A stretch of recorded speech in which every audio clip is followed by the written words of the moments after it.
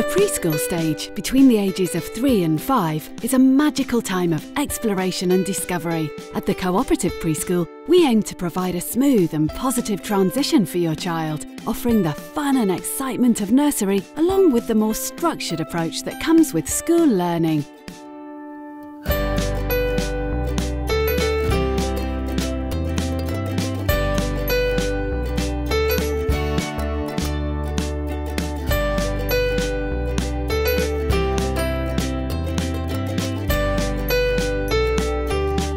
On a day to day basis, this means we create a fun, happy environment where children encounter experiences and challenges designed to develop their learning and social skills, preparing them for a great start when they begin school.